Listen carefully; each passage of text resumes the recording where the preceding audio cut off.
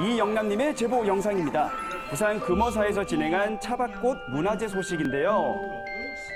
동네 차박골 문화재 행사를 28번째 합니다.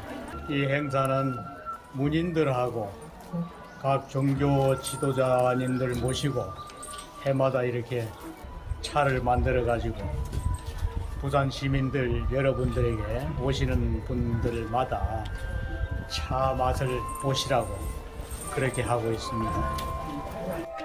차나무 군락지인 동네 금어사 골짜기 차박골. 이곳은 역사를 간직한 부산 차 문화의 발상지라고 하는데요.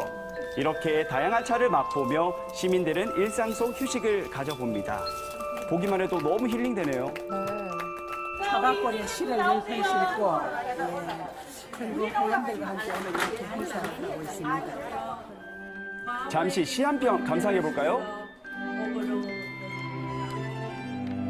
도란도란 차를 마시며 새로운 열정과 힘을 문학과 자인들 어, 그리고 마음 공부하시는 분의 찻자리로서 거듭나는 것으로서 제가 행복하다고 느낍니다. 여러분들 제보 덕분에 오늘도 풍성한 소식이었습니다. 이상 우리 동네 톡톡이었습니다.